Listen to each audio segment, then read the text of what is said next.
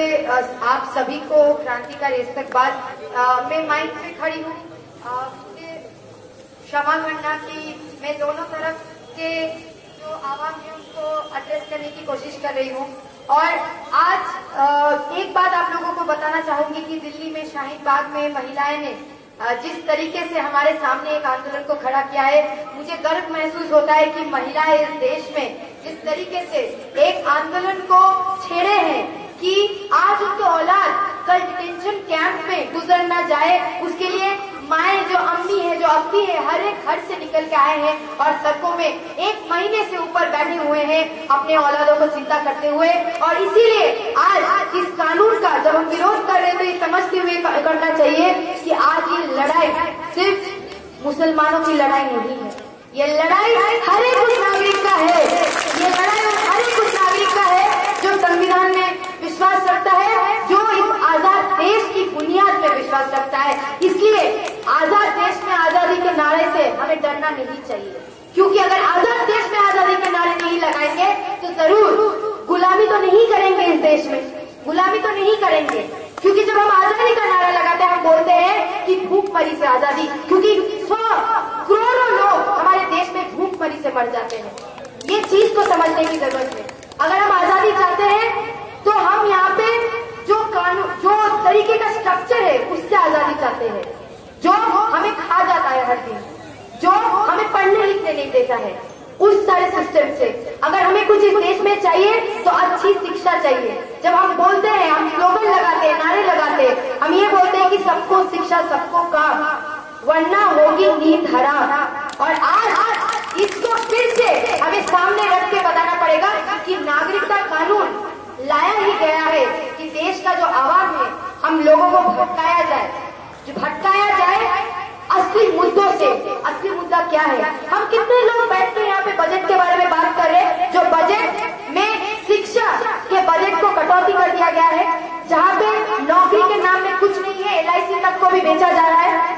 ये है, इसको छुपाने के लिए आप मुसलमानों को आगे कर रहे हैं कि देखो कि ये एल ये दुश्मन है हमारे, और ये हम होने नहीं देंगे।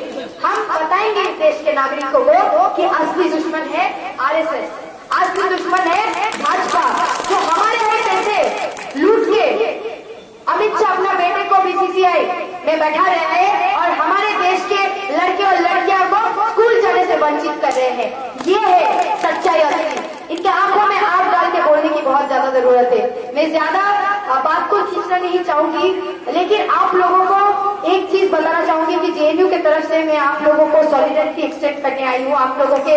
ये बताने आई हूँ कि ये लड़ाई में आप अकेले नहीं है, हम आपके साथ हैं।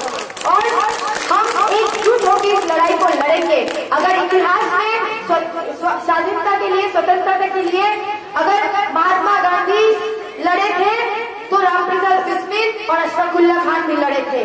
और ये है हमारे भारत की इतिहास। जब वैसा इतिहास है तो आज भी सिर्फ़ मुसलमान नहीं, हर धर्म के लोग, हर नागरिक इस कानून के खिलाफ लड़ाई करेगा, ये हम निश्चित है। और इस लड़ाई में हम सक्षम होंगे, क्योंकि आप देखिए, सरकार धीरे धीरे पीछे हट रहा है। ऐसा नहीं है कि हमारी लड़ाई कहीं पे सक्सेसफुल नहीं हो रहा है। तो इसी बात के साथ मैं खत्म करूँगी कि इस आंदोलन को हम शांतिपूर्वक तरीके से आरएसएस के एजेंडा में ट्रैप नहीं होके किस तरीके से यूनाइटेड ऑर्गेनाइज तरीके से चलाएँगे और बाकी जो आवाम है उनको कैसे हमारे आंदोलन से जोड़ेंगे, इसका हमें एक प्लान बनाना चाहिए। हमें कोशिश करना चाहिए कि हम लोग इसको और ऑर्गेनाइज रखें, शांतिपूर्वक रखें और हर एक नागरिक को मूवमेंट से इस आंदोलन से हम लोग जोड़े। इसके साथ मैं अपना बात खत्म करूँगी। शुक्रिया। इनकलाब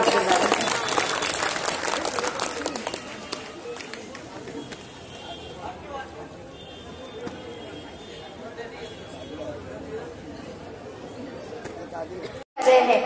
ये है सच्चाई असली इनके आँखों में आग डाल के बोलने की बहुत ज़्यादा ज़रूरत है। मैं ज़्यादा बात को खींचना नहीं चाहूँगी, लेकिन आप लोगों को एक चीज़ बताना चाहूँगी कि जेएनयू के तरफ़ से मैं आप लोगों को सॉलिडरिटी एक्सटेंड करने आई हूँ। आप लोगों के ये बताने आई हूँ कि ये लड़ाई में आप अकेले नहीं है, हम आपके साथ हैं। और हम एकजुट होकर इस लड़ाई को लड़ेंगे। अगर इतिहास में स्वाधीनता के लिए, स्वतंत्रता के लिए अगर महात्मा गांधी लड़े थे तो राम प्रसाद बिस्मिल और अशफाकुल्ला खान भी लड़े थे। और ये है हमारे भारत की इतिहास। जब वैसा इतिहास है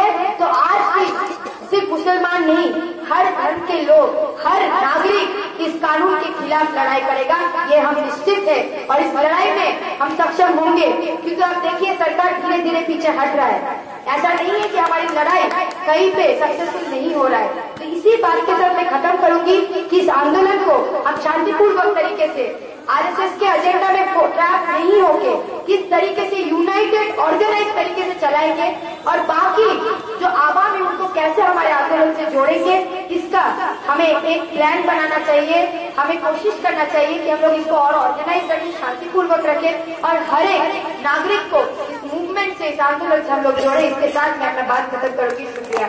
जिंदाबाद